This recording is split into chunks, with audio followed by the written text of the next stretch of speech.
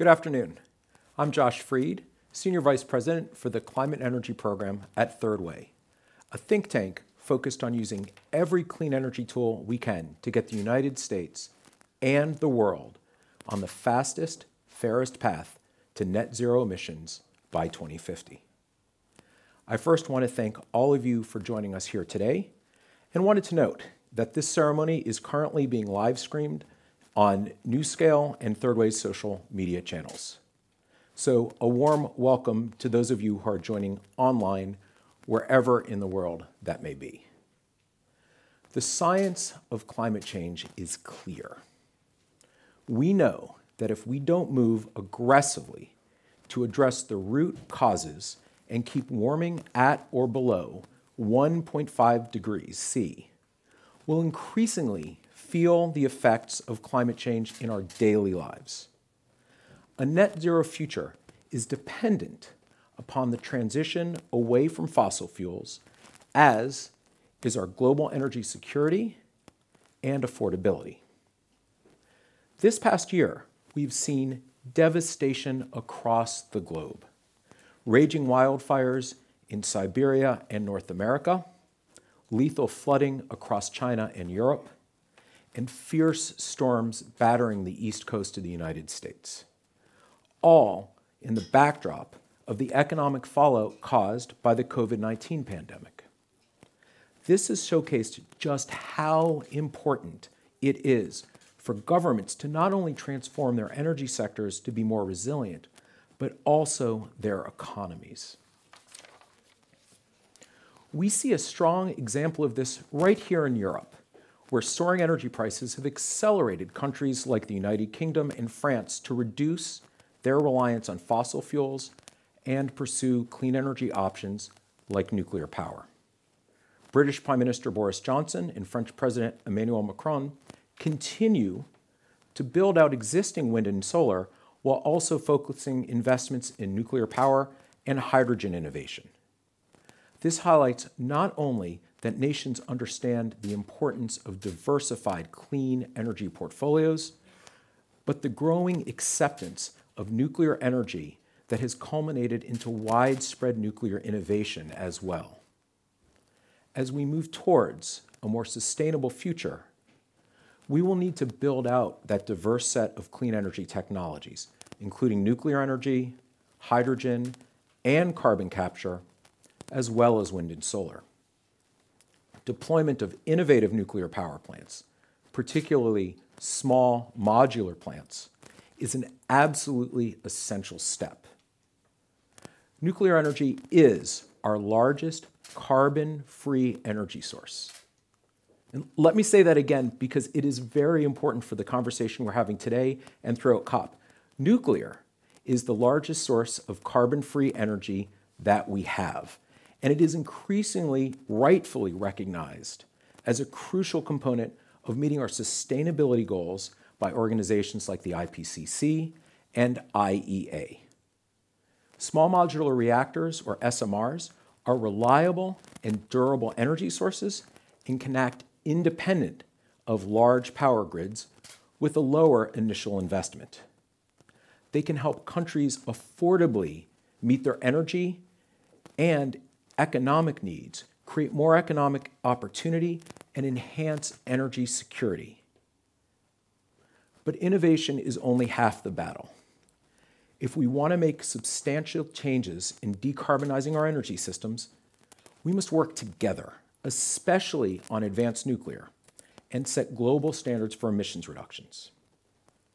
We have a unique opportunity here today to showcase the power of global cooperation by leveraging international diplomacy and collaborating with our European allies and show that we can bolster nuclear innovation and fast track our path to zero. And that is why we are all gathered here. And we were thrilled with the announcement on Tuesday by U.S. Special Envoy for Climate John Kerry and Romanian President Klaus Iohannis that Romania will be a first mover on small reactor technology. And here today, we are honored to be hosting this event with NuScale Power and Nuclear Electrica that will bring to fruition this commitment with plans for building a first-of-a-kind NuScale reactor in Romania. This is a historic moment for climate, and we are eager to help shape international commitments for the better. Shortly, we will hear from John Hopkins, the Chairman and CEO of NuScale Power, Virgil Popescu, Romania's Minister for Energy, Cosmin Ghita, the CEO of Nuclear Nuclearelectrica, and Justin Friedman of the U.S. Department of State. It is now my pleasure to introduce our first speaker, my friend John Hopkins, Chairman and CEO of NuScale. Thank you, John. Well, Cosmin and I were just sitting here thinking, wow, we never thought this day was going to happen. So we greatly appreciate everybody being here. Thank you for joining us as we commemorate our important partnership between NuScale and Nuclearelectrica to advance clean, emissions-free commercial nuclear technology in Romania. I'd like to start by acknowledging our honored participants, Virgil Popescu, Minister of Energy for Romania, Chief Executive Officer of Nuclearelectrica, Cosmin Ghita, Justin Friedman, Senior Advisor for Commercial Competitiveness and Nuclear Energy, Bureau of International Security and Nonproliferation at the U.S. Department of State, and of course, Josh Freed, our, who made the introductory comments. We also have with us today senior representation from a customer in Poland, KGHM, uh, the CEO of uh, NEI, uh, Maria Korsna, Kor- Korsnick, excuse me, the Ro- Romanian ambassador to the UK, uh, Laura Popescu, ambassador, thank you for coming.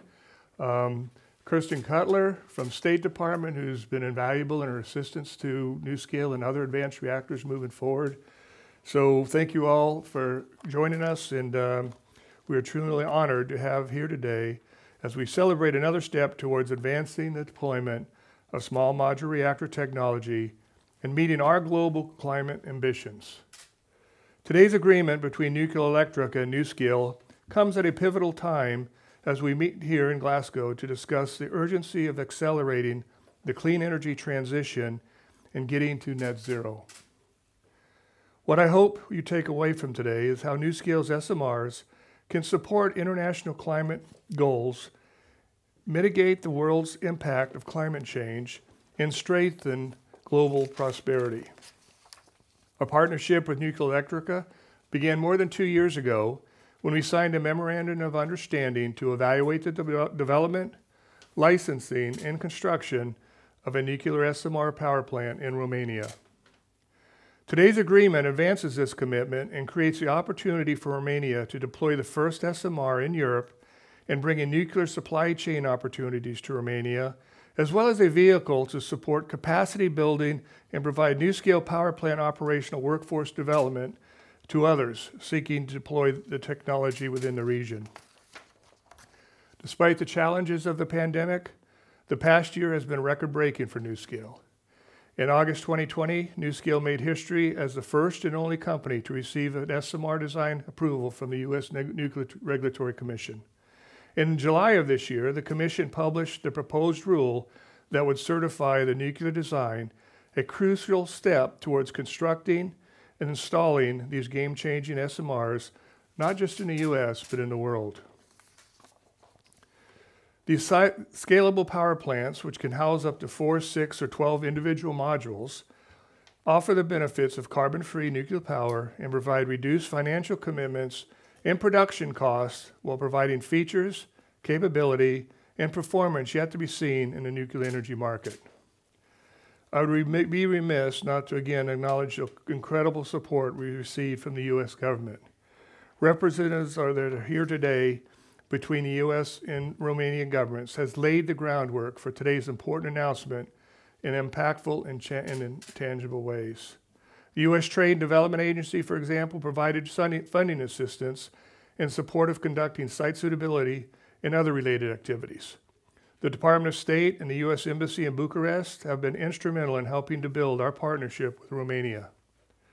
And of course, the Department of Energy has offered incredible support in bringing our technology to the level of commercial readiness.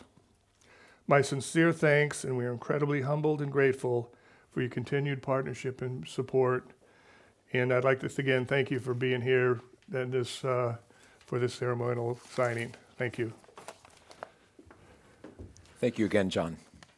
It is now my pleasure to introduce our next speaker, Cosmin Ghita, the CEO of Nuclear, Electrica, Romania's leading energy company and an experienced nuclear developer. Now, Nuclear Electrica plays a crucial role in carbon-free energy production by contributing over 18% of the country's nuclear energy and a third of the total carbon-free energy. And under Cosmin's leadership, Nuclear Electrica continues to pave the way to meet Romania's climate goals. And I'm excited to welcome here, here to the stage. Cosmin? Thank you, Josh. Thank Uh, thank you, John, for the warm introduction, and uh, thank you all for joining us today. I also wanted to uh, like to honor our distinguished guests, uh, Mr. J- uh, Justin Friedman, uh, Mr. Ingemar Engkvist from the CEO of uh, World Association of Nuclear Operators, Maria, um, uh, Mr. Popescu, John. Uh, this is an exciting mo- moment, and I'm proud, honored, and deeply privileged to meet you all here at COP, where countries actually take a bold action on escalating the climate crisis. We're really in a race to achieve net zero, sustainable, inclusive future. And I'm talking this on behalf of my generation and the generations that are coming. As COVID 19 united us um, as nations to join forces in a common battle, the energy crisis and decarbonization stringent goals are also bringing us together to make a strong commitment to a cleaner future um, for the next generations. Each of us as nations are owners of the common vision of achieving net zero energy, um, and this common goal unites us and empowers us to create a better future for the generations to come. So it's up to us, in the same time, to spread the empowerment of our nations to our young generations and to the working force in the many industries that need energy transitions to meet net zero targets.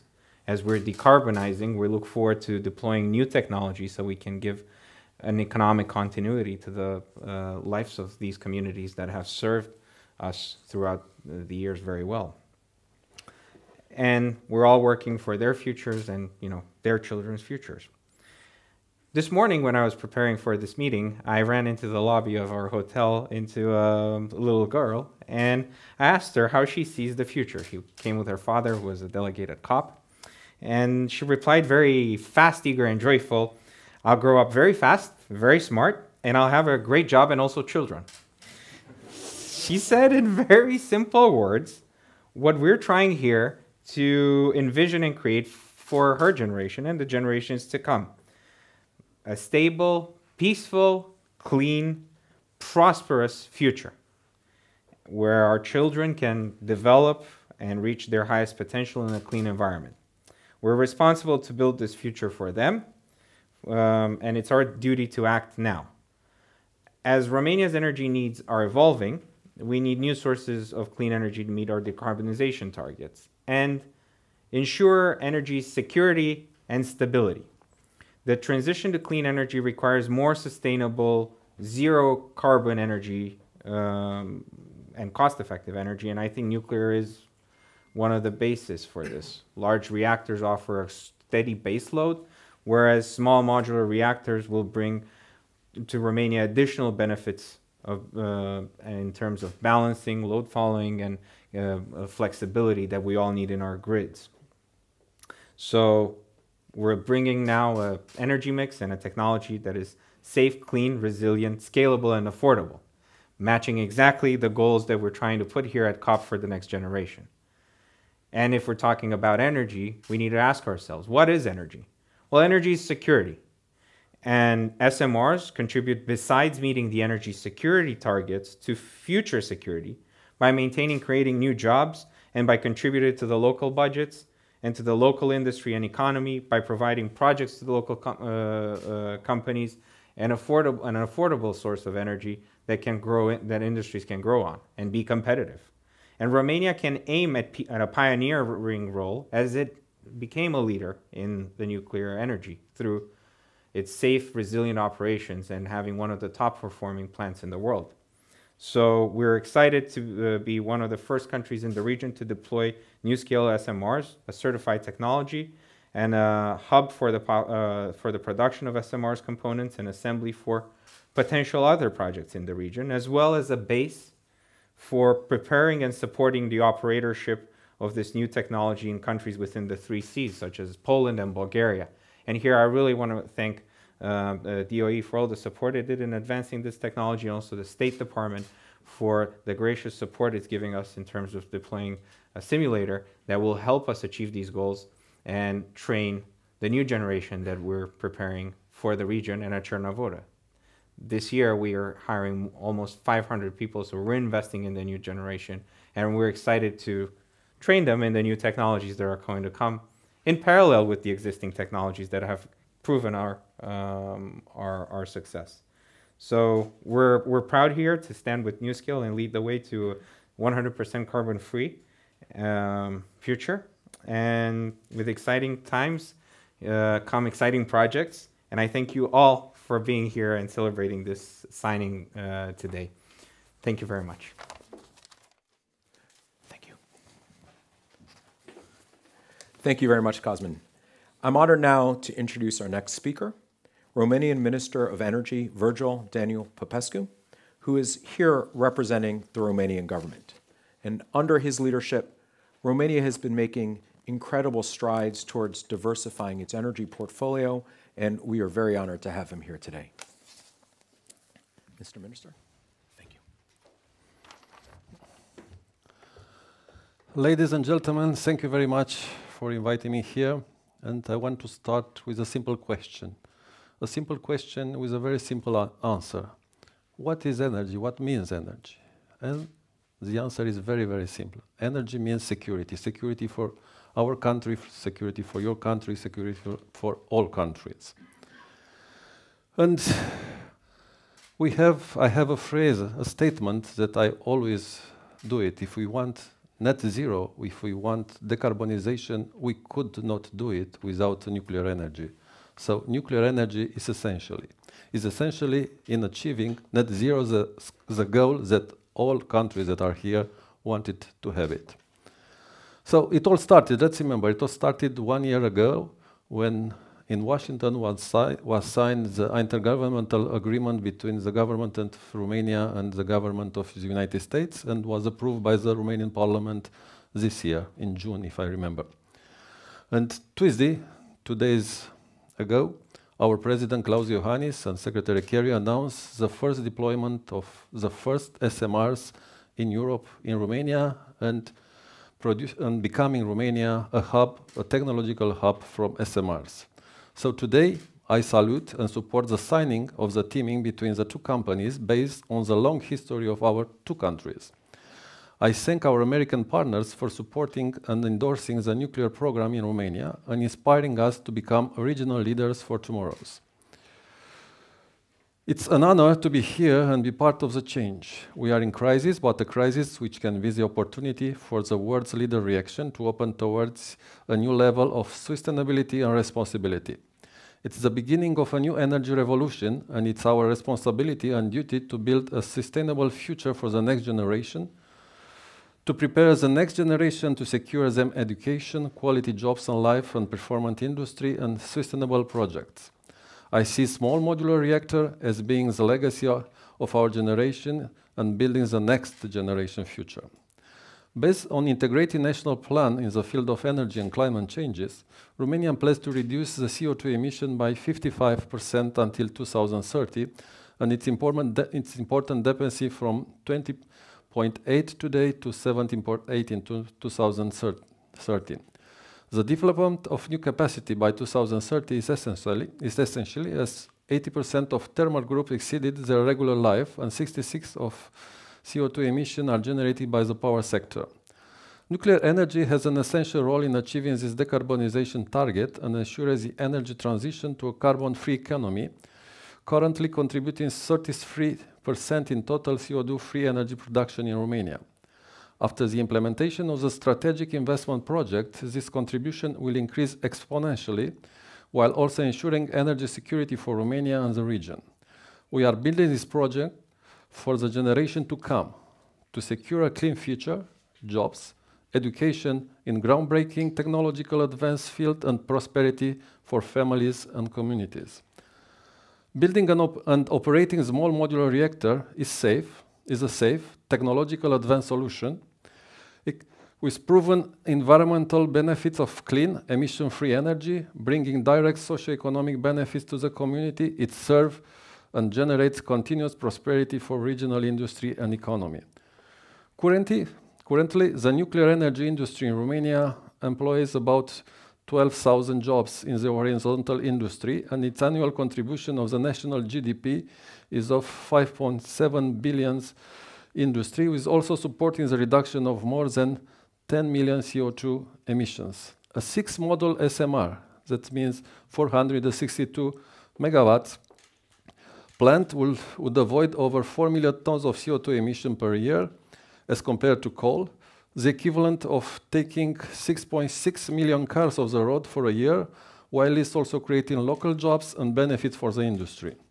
Our aim is to place SMRs on existing coal plant sites, achieving carbon reduction while also preserving jobs and tax revenue and ensuring an acceptable, transition for existing coal power plant workers and community and local business.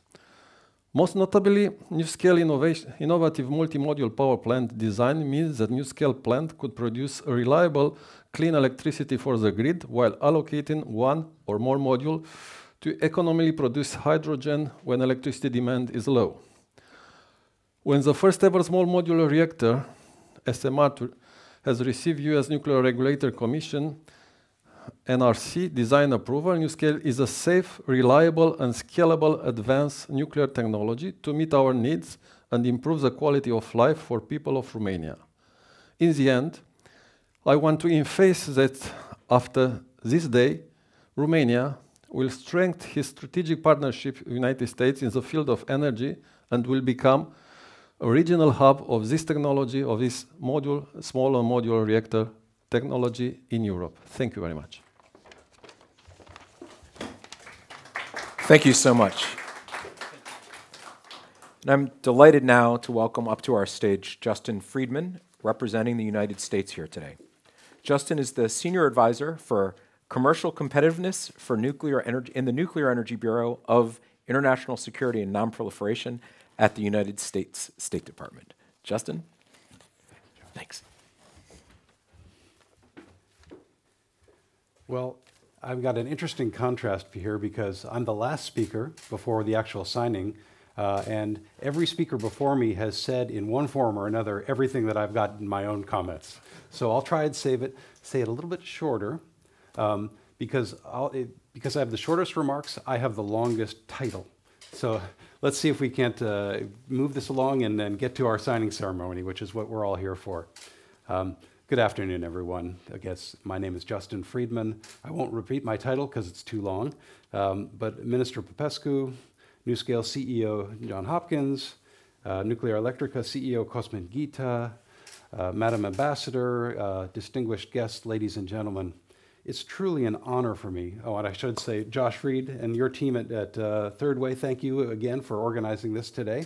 Uh, it's a real honor for me to represent the United States government at this historic signing ceremony, which will strengthen the links between two great countries and two great companies, uh, a Romanian company and an American company. This groundbreaking partnership will help us achieve our shared global climate goals.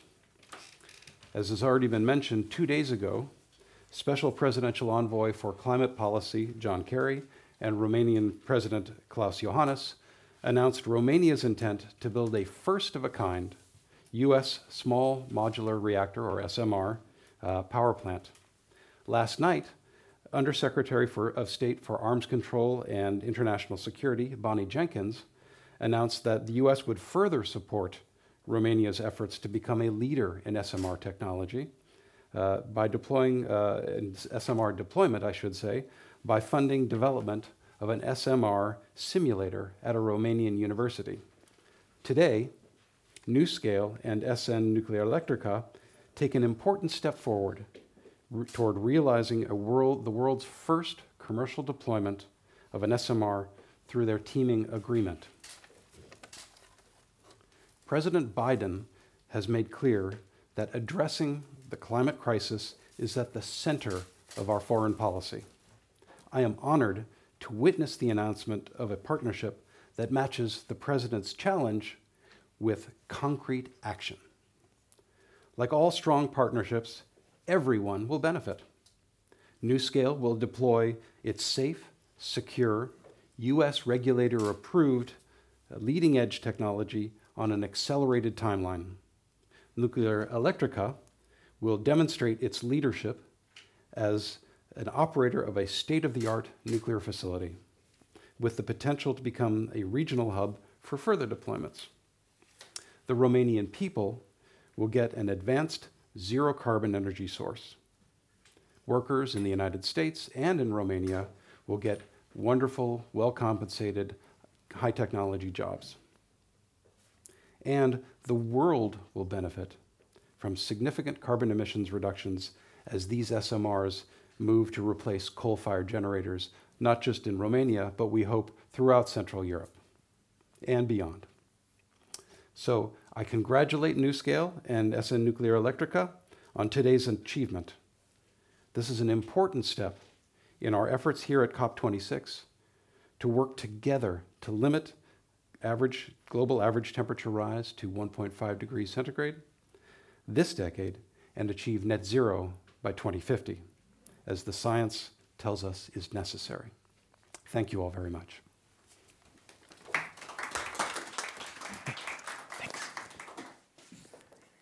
Thank you very much. And now, to mark this historic moment, we will move on to the signing of the official documents between NuScale Power and Nuclear Electrica.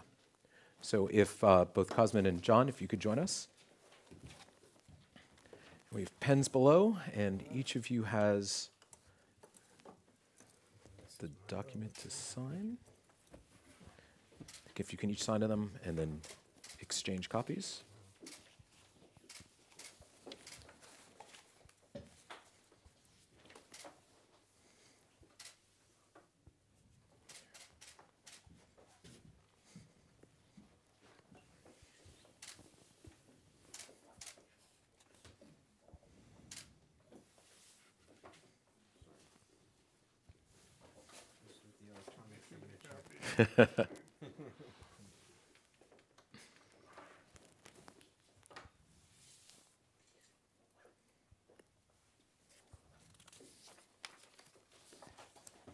And when we're done, gentlemen, if we can move over here and we'll take a couple of more photographs of the signed documents.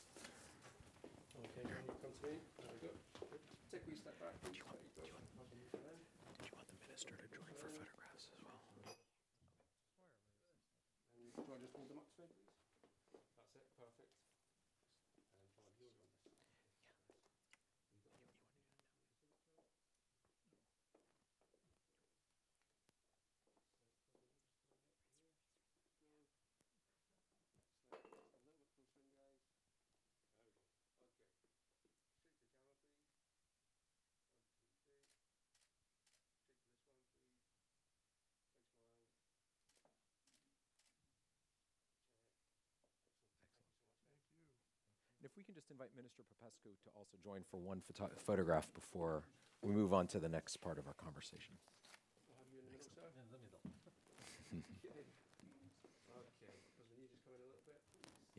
If you could take,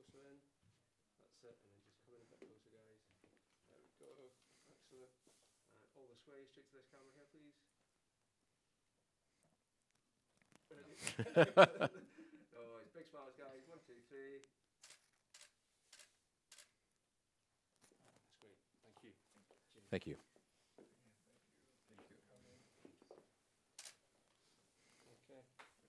Thank you.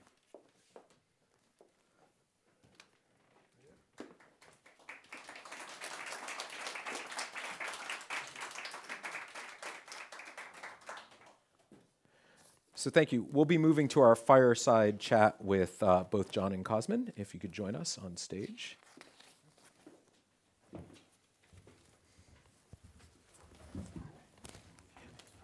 Excellent. Thank you.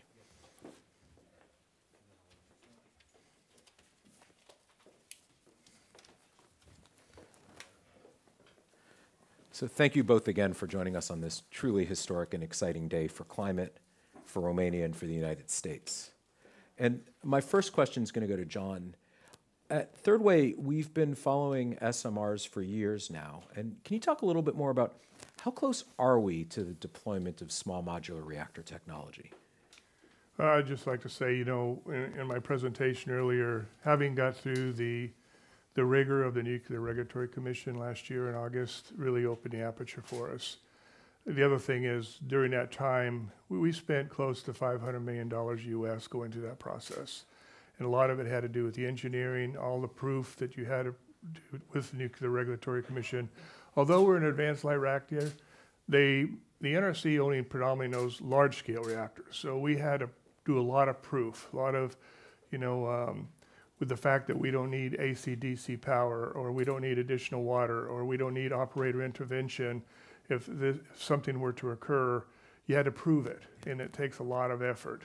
So getting th- getting through that, and having spent all that money, um, we also, as we scaled, we realized that originally we were looking at 50 megawatts, but through that same footprint, we're now at 77 megawatts. And what does that do for us? It opens again the aperture to offer, particularly for areas of the world that are looking for coal refurbishment, you know, a four plant, six plant, up to 12 modules, which is 924, approaching gigawatt size. So this today and what we're doing, we're talking, and the supply chain is critical in what we're doing. You know, our intent is to build these in the factory, they come in components and we ship them. So as we're building, the civil work is being done in the field. So that enhances the process significantly. And so where we are right now, our first commercial operations deployment, we're looking late 27, 28. Our original customer, uh, UAMPS, which is still our customer, decided they wanted it in 27, but they don't need the energy till 29. However, we made the determination that we're going to create that supply chain for an early delivery of 2027, 28. So that's where we are today. That's fantastic. Um, for Cosmin, it, nuclear energy currently plays a significant role in providing carbon-free electricity in Romania. How will SMRs impact that role and the growth of other clean energy technologies? Thank you very much for, uh, for that question. Uh, at this point, uh, Nuclearelectrica is trying to, is producing around a third of Romania's clean energy sources through the two units it's uh, operating at Cernavoda. Um, Romania is looking to um, take, to replace around 4.6 gigawatts of uh, coal generation uh, throughout the um, uh, throughout the- the next decade. And if we look in the Three Seas area, we're talking about 52.8 gigawatts. That's a major energy challenge. Um, whereas a clean baseload is offered by traditional reactors, such as the CANDU units that we're developing and uh, we're operating together under the guise of the intergovernmental agreement that was signed between Romania and the U.S. We see that uh, small modular reactors can help um, help the grid actually uh, maintain its current architecture, um, and they can be deployed in, in lieu of coal uh, plants, but also help balance themselves out with other sources of clean energy, such as renewables. Um, if you think about renewables, they're intermittent in their nature. So having a flexible SMR on the same site or energy park can, um, you know, can come in in a very clean um, way to um, compensate for when the wind is not blowing or when you don't have enough sun out. So we, we definitely see this or balance the grid and come into areas that really need through the way in which SMRs are more flexible, easier to locate. And this is coming out of the study that USTDA um, funded for us and helped us out. Um, we can go into those regions that actually need energy and balance the grid and give it more resiliency, more security, and more stability. So there's no blackouts, so that we can continue to power our homes and uh, you know watch TV in the evening and maintain jobs at the industries that are uh, energy consum- uh, uh, consumption uh, heavy So- consumers. Yeah, and I think this is a really interesting and important point that sometimes gets missed. Not only are, uh, you're saying not only do SMRs allow you to have more and more reliable, consistent electricity uh, succeed coal, but it also enables more renewables on the grid and supports the renewables you already have. Yes, correct, because you have a very uh, easy, safe way in which you can balance uh, things out, and through the modularity of NuScale, and this is one particular point that we like about this technology, you you can flexibilize your power output in ways in which you can't with a traditional reactor. So this is where the two uh, there's the complementarity. Yeah. You have traditional nuclear as a baseload, and then flexibility and balancing very well serviced through small modular reactors. That's, that's extremely helpful. One point, John, that you made before that I wanted to get back to, you talked about the process NuScale went through with the NRC. And uh, for US audiences, we hear of the NRC and we think of it only in its relation to uh, licensing reactors that are going to operate in the United States in that process.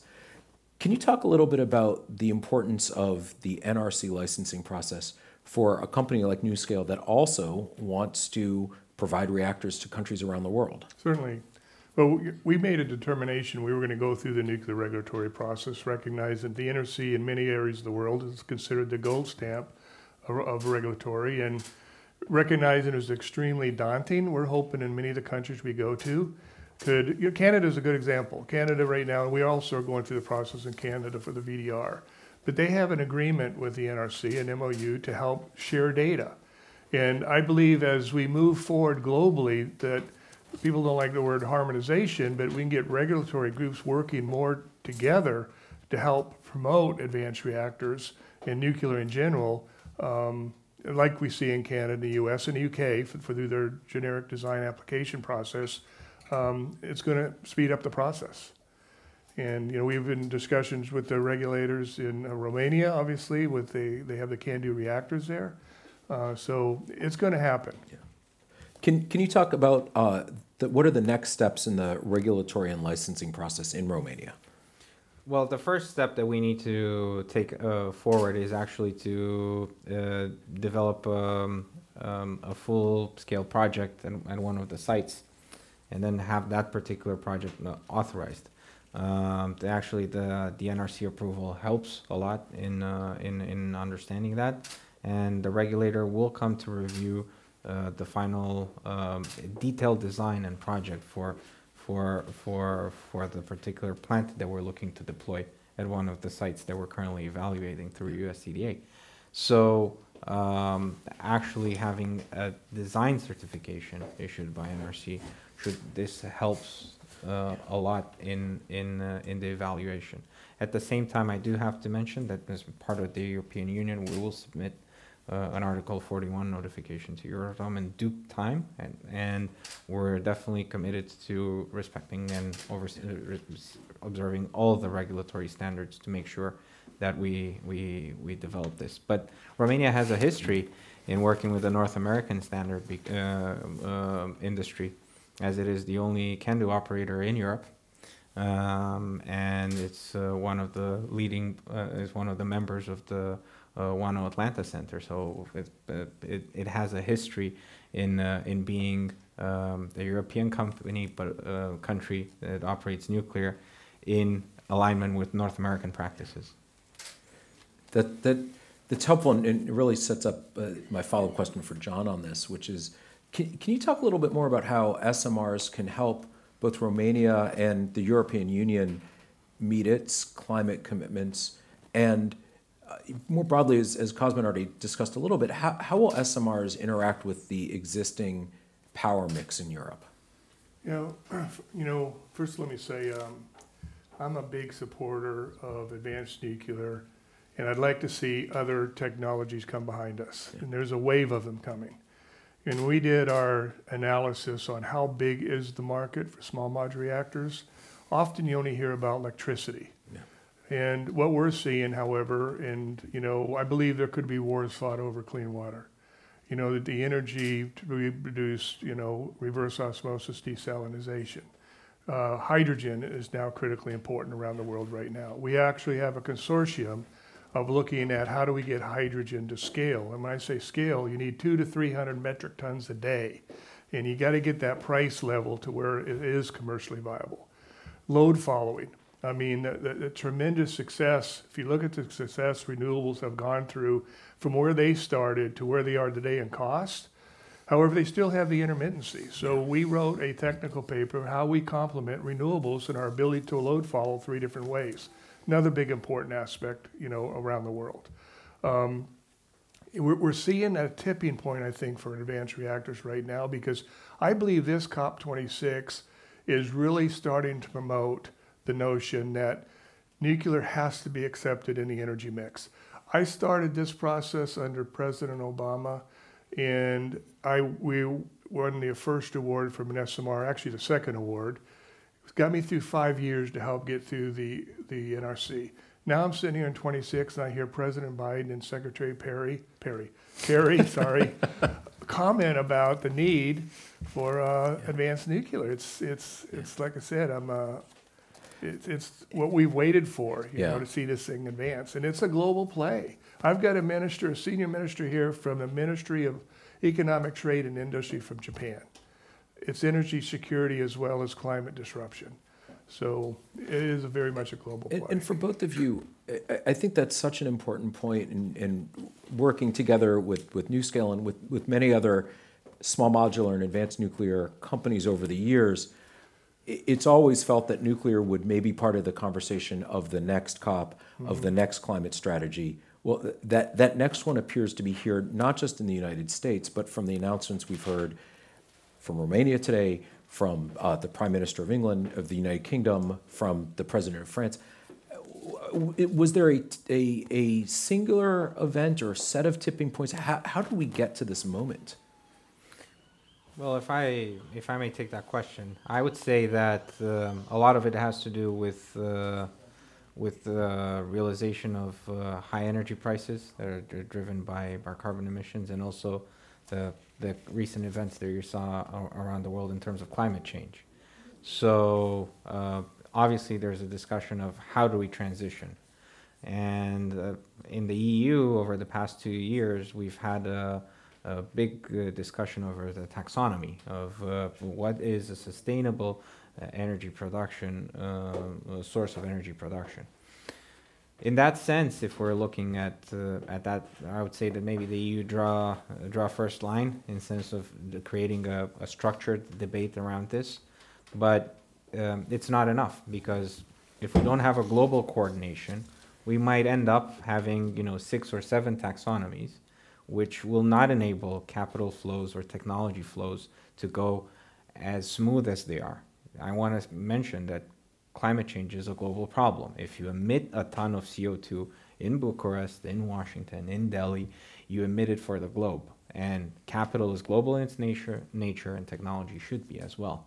So I'm really happy that at this COP we're seeing we're strong signals in terms of inclusion of nuclear, inclusion of uh, uh, renewables, and trying to set up some ESG guidelines because we would avoid having six or seven different taxonomies, which would be six or seven iron curtains in terms of what we discuss for climate change. So th- this is this is a very positive signal for for for industries overall, and it does allow countries to set up their own energy mix based on their local preferences. Because they're countries that are very uh, rich in uh, solar uh, energy potential. They're countries that have tremendous opportunity for nuclear. Well, nuclear is resilient and is not uh, dependent on uh, uh, meteor conditions, so that makes it a very good baseload.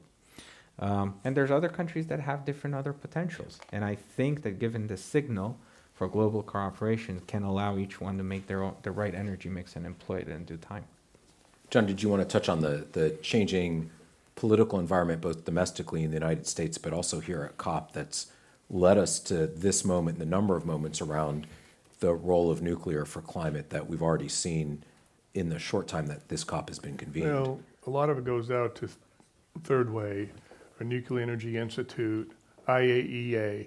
They've been such a strong supporter and promoter, and people are starting to recognize the fact that it's not a one fits all. As, as Cosmin stated, each country is going to look at it differently depending on what their needs are. If it's uh, gigawatt size or if it's, you know, I, I view our sweet spot right now is for coal refurbishment. You know, we're modeling with labor in the United States with the unions right now to look at how do you go from, let's say, a three to 400 megawatt plant with over 200 employees to cross train into a small modular reactor. Those 200 employees, by the way, an electrician is an electrician. A pipe fitter is a pipe. Those are the same people I need to operate this plant called NuScale. And I need 200 plus people. And by the way, it's high paying jobs. And the other thing I think is an advantage, I'm a technology provider. So from, from advanced manufacturing and starting to see countries are looking at advanced manufacturing and, and the jobs potential within their own countries. So I think we're just kind of the spear tip right now, but as these other technologies come out, um, it, this is a, like I said, it's a, I don't believe we truly appreciate how big a market this is right now for the advanced nuclear industry. And I'd like to dovetail off of that. The synergy between coal and nuclear is well known. A lot of the countries, Romania including, took its first operators from coal uh, plants and managed to reconvert them for nuclear power plants. So there's a history in doing that. And the supply chains are the same, and the co- uh, communities that were built around coal plants, they deserve a continuation of their economic future as well. And we know they have the skills that can be reconverted. And, and can you talk a little bit more about the, the jobs and economic impact in Romania? Both, not just now, but over the next three, five, ten years. What, what is the role that SMRs and the broadening of, of a diverse and clean energy system in, in Romania look like? Sure. Well, I'll start right now by telling you that um, Romania's nuclear industry uh, has managed to save Romania around 172 million tons of CO2 uh, over the past 25 years on one end. And the second uh, point, it has uh, a contribution, annual contribution of around 600 million euros uh, to, to the GDP. Uh, em- we employ 2,300 people um, at our sites, and our supply chains go up to 9,000. One six module NuScale plant uh, means around 193 power plant jobs, uh, 1,500 construction jobs, 2,300 manufacturing jobs, and we add 4 million ton to the to the to the 20 million tons per year that we continue to save. Um, Romania, and here's, you know, I'm taking obviously Romania is going to have a, it has a balanced mix as it's promoted through the energy uh, plan, but let's take this assumption. We're talking 4.6 gigawatts of coal that would be that should be replaced over the next decade. If we were to replace these with NuScale plants, just taking theoretically, so you have a magnitude, we'd talk about um, over you know more than 2,000, uh, close to 2,000 power plant jobs, 10,000, cons- uh, uh, 5,000, um, eight, five, uh, 5,855 construction jobs, over 23, 24,000 manufacturing jobs, and eliminates 45 million tons of CO2 per year. If I'm to scale that to the three Seas region, where we're talking about 52.8 gigawatts of coal generation, we're talking about almost 15,000 power plant jobs that could be devel- del- delivered, 66,000 construction jobs in the region, and more than, you know, close to 300,000 manufacturing jobs, and obviously eliminating 500 million tons of CO2 per year. So the potential is enormous. It really depends on how do we manage to structure these. And the jobs that I'm talking are not even taking into consideration indirect jobs. Because once you have a power plant job, and this I think we all know very well from uh, cartoon series such as The Simpsons, you go you, you can go visit uh, uh, the local pub, you can go visit the, the restaurant and other things, which again continues the benefits to that particular community. So I love that we're now using The Simpsons as a video on economic development and the importance of nuclear power plants. Um, we, we may need to talk to them and, and see if they can build that plot line out more. Um, John, I mean, you know, you heard Cosmin just talk about the potential scope and scale. What needs to be done to uh, to continue to catalyze that? Where where how do we build upon this really important historic moment to ensure that there are more opportunities, not just for small modular reactor developers like NuScale, but also for the, the countries that are looking to both decarbonize and create more economic development for their citizens? I think a component often that is missed when we talk about building these plants is the need for, for uh, trades. You know, to have the craft who has the skill sets to do it, you know, be it welding or whatever. And so, you know, uh, if I look around the world, there's areas of the world that have that. And I, I've been fortunate to build plants all over the world, never nuclear, but polymer plants and life sciences. And we were able to draw local labor. Nuclear is a little bit different. And, you know, for the welding and that, we, we have to be ensure that we have those people that are skilled to do so. And so what we need to do is continue to, I just want to get one module in the ground, Josh. I want to prove to the world, because we have a tendency in the country, in our country to oversell, underperform when it comes to nuclear. So it, what wakes me up at night is not that this technology is going to work, it's that I'm commercially viable.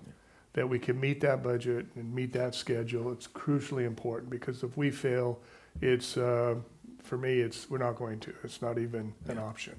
So, you know. I think it's for the climate as well. You can't fail. yeah, so. exactly. Well, you know, and that's why it's critically important. I want to get one of these things the sooner the better up and running. And the other thing I think uh, that we're doing right now is uh, Romania will be utilized in our control room simulator for operator training. Very important. I've got three universities in the United States now that have them: Texas A&M, Idaho, and um, Oregon State University. I got another two that are looking at them, but having these ability to operate and- think when I came to this when before the NRC, if you have a 12 module plant, the perception was you had to have 12 operators to run that plant, one for each module. Going to the NRC and proving to them the passive safety aspects of this, for a 12 module plant, NRC only requires three operators. Significant cost reduction. Why is that? Because it's the passive safety. When people talk to me about, you know, safety concerns on nuclear, I look back at my first automobile and what it was like compared to a Tesla or a Prius today. Technology advances. Advanced nuclear is called advanced because it advances. And like I said before, it's, uh, it's a game changer right now, I believe. It's a transformational industry. One other question there, because I think the perception amongst many is that the NRC, like many bureaucracies, is plotting, it's unable to adapt. If it doesn't get exactly what it expects and it has seen before, it can't evaluate it. But you, I mean, you just gave a, a really interesting example of how that with NuScale was not the case. Can you talk a little bit more about that and, and how the relationship has gone? Well, first you want the rigor of the NRC. It's all about safety. And but as I said before, we had to do numerous topical reports. You know, when when we say we don't we don't need backup power, uh, arguably you could say if NuScale had to, to been deployable, there would have never been a Fukushima event because what happened there when the tsunami knocked out the backup power, we don't need it. We have what's called an unco- unlimited coping period, which is very keen. The other thing the NRC has done, very important for coal refurbishment, in the United States, the emergency planning zone is 10 mile radius. It's a very costly process. The NRC has stated that um, Clinch River, owned by Tennessee Valley Authority, used their NuScale methodology calculations for their site, and the NRC said if it's a NuScale plant, we can assume that the emergency planning zone reduction is at site boundary. So when you think about coal refurbishment, as you build that plant, population density has moved in around it. And from a safety to say it's at the site boundary, you don't need that emergency, so they accepted that.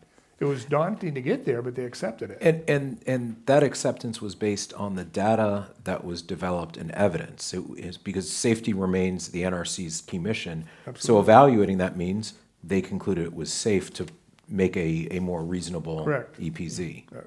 But see, that's where all this money went to. This is where the, the cost-sharing competitive award from DOE is so important because it helped us get through that process. And it's costly.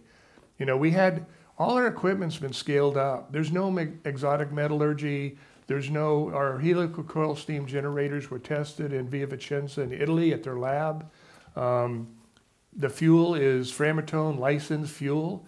Um, so, you know, like I said, it's all been, that's why I'm so committed to the fact this machine's gonna work. Yeah. I just want to make sure the costs are there. And you, you mentioned the control room that you have now being built in Romania. Cosmin, can you talk a little bit about that and, and what it means, both the cooperation with the State Department and, and other parts of the US government, and also the opportunity to start training the next generation of workers in Romania?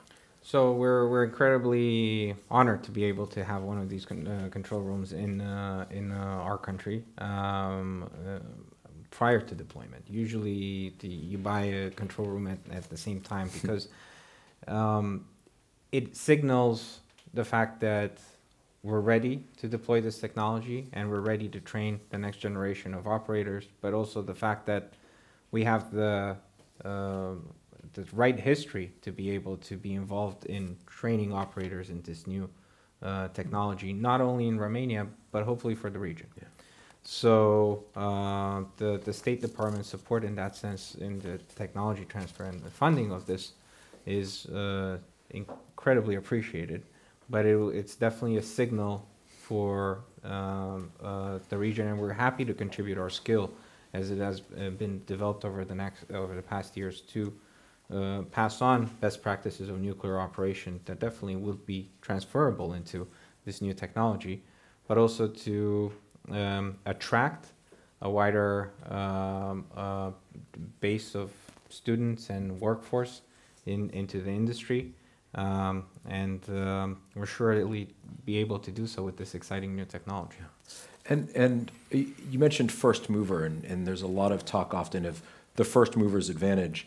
Um, eh, can you talk a little bit about that? What does it potentially mean for both Romania and the region to have a first mover advantage in deploying a small modular reactor as a key part of your electricity mix? Well, on one end, um, you come up with the most innovative solutions to help address uh, grid needs and the climate transition. On one end, the second point, as a first mover, you acquire the necessary knowledge, know-how, and advanced manufacturing base, um, uh, operatorship training, supply chain, that can help then other countries uh, deploy this technology. So, from an economic standpoint, it also presents a terrific opportunity for uh, knowledge sharing and, and, and advancing and supporting uh, the overall region. And we're happy to do so within the frameworks of collaboration that is instituted by the Three Seas Initiative. Um, so, uh, as we're seeing coal being replaced, um, th- this new technology provides autonomous um, energy production um, in into the region, addresses uh, grid challenges, enables renewables, and it also provides a great opportunity for collaboration, developing a, a, a supply chain that can be then basically replicated to other parts of the world. I was going to wrap up with one last Yeah. question um, for both of you. Uh, a lot of people who've been working in or covering and engaged in energy have been waiting for this idea of a nuclear renaissance for a long time. Uh, do teaming agreements like this and the conversation around nuclear that we're starting to see at COP and, and prior to COP and the energy crisis foreshadow that this renaissance is close at hand?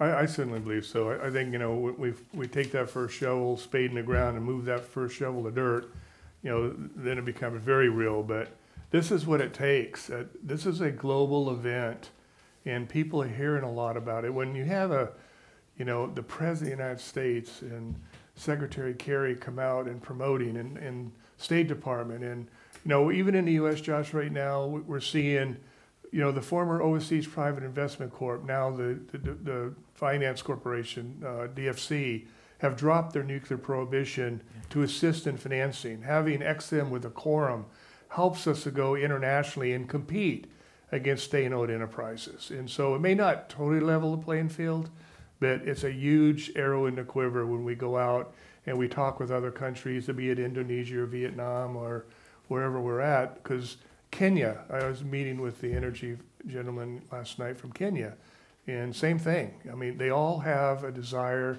to get advanced nuclear into their countries. It's about jobs. Yeah. You know, it's about small footprint, 24/7, safe, clean. And energy independence as well. energy independence. Yeah.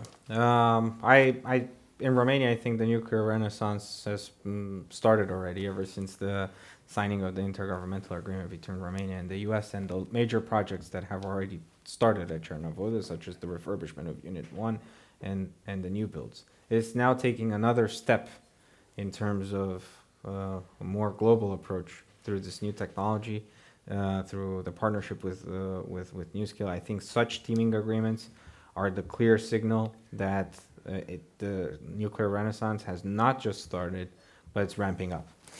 So we're excited. One last thing Yeah, yesterday. please. I was at a session and we talked about uh, direct air capture sequestration. We talked about desalinization. We talked about hydrogen production. Um, if you think of all those sources, they're energy hogs. They require a lot of energy. And so the, re- the small modular reactor or advanced nuclear is an answer to them to provide that. I mentioned we have a consortium for hydrogen. What it takes to get it to scale and to get it commercialized takes a lot of energy. And so th- that's the part of the market I think where advanced nuclear is going to really benefit.